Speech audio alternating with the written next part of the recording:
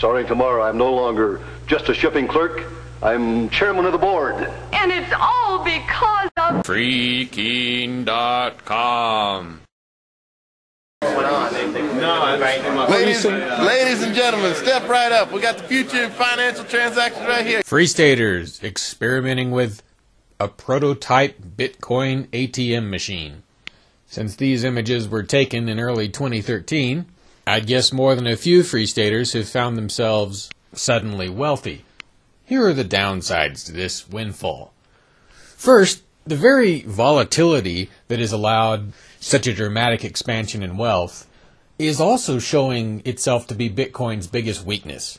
I was just trying to make some sort of Bitcoin transaction yesterday, and the, the prices were so wildly fluctuating from second to second that I it was like I felt this intense pressure to make the decision quickly as the you know to, to this purchase site, and I couldn't. And it seemed like it got almost impossible to negotiate any kind of trade that took more than uh, you know half a day to negotiate. For instance, if I wanted to buy or sell bitcoins from a friend by email, you know this kind of volatility is great for investing, but it, it's certainly not consistent with a stable currency. Right now, the dollar is far more stable than Bitcoin because it's just very slowly over the long term going down. Bitcoin is over the short term going, or at least the midterm, going up, it seems. And over the very short term, it can still do crazy things. But I think the thing is, you know, Bitcoin's scarcity is its biggest strength, but the scarcity is creating sort of an anti currency environment. So, well, I think there needs to be, I've heard that, you know, there's like a hundred cryptocurrencies that have come out uh, during this Bitcoin boom to sort of compete with it.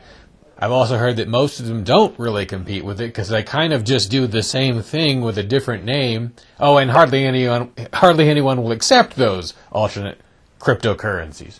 So what's needed is some sort of stable competition to Bitcoin, something that behaves a little more like silver or gold, which is to say, yeah, a lot more volatile than the dollar, but a lot less volatile than Bitcoin. At least you, you know, you, you don't feel second by second pressure, you know, when you're when you're in, when you're dealing with silver. Now, of these 100 cryptocurrencies, I would not be surprised if one of them does fit this definition or maybe one of them fills this niche.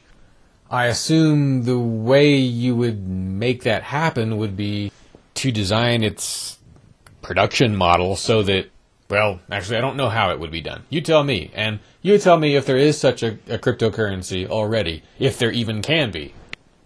Now, the second uh, dark lining in this silver cloud would be the, I guess, I used to think that you know eventually there would there would get to be a point where there would start to be a national envy of New Hampshire, where there are tensions between New Hampshire and, and other states, New Hampshire and the federal government, uh, you know, wealth envy. And I tell you what, I really saw that starting to come true when there was a geographically specific NPR article about Bitcoin. They were talking about how Bitcoin was disproportionately uh, owned by New Hampshire libertarians. The comments, some of them appear to have disappeared on that article now, but I remember seeing a, a definite tone. Uh, you know, the people who were posting were complaining about the fact that uh, Free Staters had achieved some wealth some of them.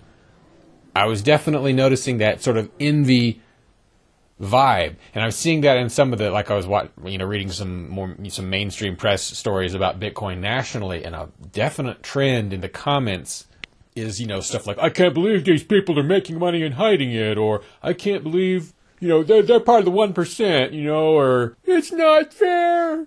Well, for now we can kind of laugh at people who are saying that but the fact is, they pose a, a real danger because public envy of wealth. I mean, can we name the number of wars that has started, the number of people that has gotten put in jail, uh, the number of uh, concentration camps that have opened historically for people like that?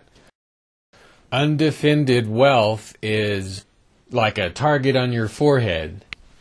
And of course, most of us aren't really able to entirely hide Many of us don't even try to hide our Bitcoin transactions. But overall, of course, it's great to see our movement prospering a little bit more, and I guess wealth in some contexts can translate into power. I used to say back in the days when everybody assumed that we were a bunch of Koch uh, fronts. I say, you know, it'd be, it would be great if the Koch brothers or somebody would donate us money. Of course, they never did. I always, I always wondered, wouldn't it, wouldn't it be great if the Free State Project had some wealthy benefactor? The truth is, it never has had that. It's always been making do with its thirty thousand dollar bank account from year to year, if I recall the numbers correctly.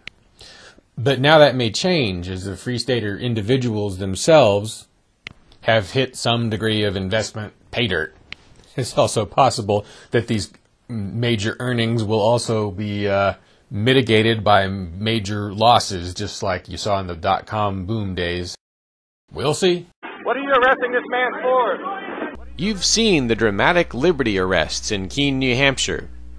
Now see 111 reasons why you should move there and reinforce these gutsy activists. Keene's advantages are compelling, and the list of reasons to move has just been updated. For details, visit freekeene.com.